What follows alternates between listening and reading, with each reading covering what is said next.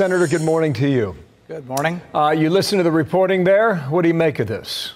Why? I think the most I think the most important thing is that the investigation can't be done by the WHO or an international group, but it also can't be done by Americans who are involved with funding the lab. So Dr. Fauci and his handpicked person from EcoHealth, they can't investigate themselves because they gave the money to the lab.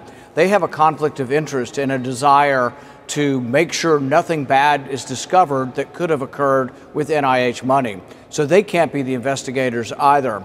And this is very important. I think Dr. Fauci should be made to testify under oath about the money that was given to the lab. And the good news is, yesterday I passed an amendment on the Senate floor that says no more gain of function money can be sent to China. This is very important because this could happen again. I mean, they are experimenting with the SARS virus, which is 15 times more deadly than COVID 19. COVID 19 kills about 1%, but that's been 3 million people, more than 3 million people. If SARS got out of the lab, that could be 50 million people. So this is a very important task ahead of us. Okay. We have a we have 11 labs in our country that do this kind of research. You, you, you raise a, a of number of interesting points. Let me see if I can knock off as many as I can in the next few minutes here. Uh, we are told that the NSC, the National Security Council, is the one that's running this investigation now. Is that acceptable? I think it needs to be a bipartisan commission, not just the administration. I think really this should not be a partisan issue. And I think yesterday we demonstrated that Democrats will vote for some uh, repercussions on this. But I don't know that the administration can investigate this, particularly since they've shut down the previous administration's investigation. So I'm worried that they're trying to cover up the government's involvement, our government's okay, involvement. So they, in they would argue research. they haven't shut it down, and I, I, mean maybe it is just a question of whether it's in this silo at the State Department or in this silo over here at the National Security Council. Stand by for more on that. You mentioned Anthony Fauci. Here he was on the Hill about the funding for that lab in Wuhan and what was legitimate and what was not. Watch. About six hundred thousand dollars over a period of five years so it was a modest amount. There was nothing in the grant application that would call for what is referred to as gain of function.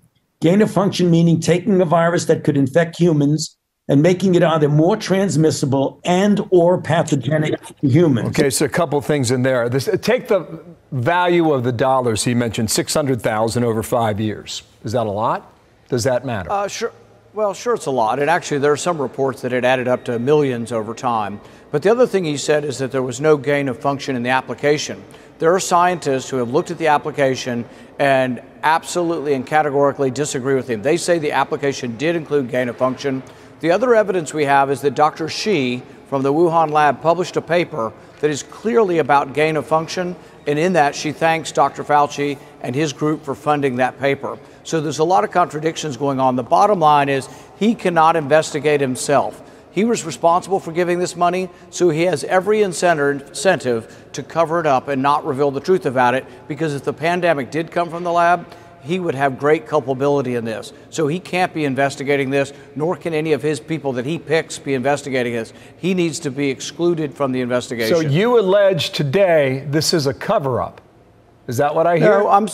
No, what I'm saying is is that there could be a cover up because there's an incentive by people like Dr. Fauci not to uh, reveal anything because he would be then culpable because he was in charge of funding this lab. Okay, one more thing I, I want to squeeze it. in here. The National Institute of Allergy and Infectious Diseases, earlier, James Freeman wrote about this in the Wall Street Journal a few days ago.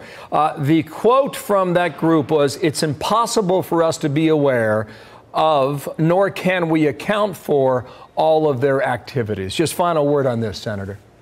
I think that's true. And one of the strongest evidence that this came from the lab is they haven't been able to find the virus in any animal. Nobody, no, they tested thousands of animals in the wet market.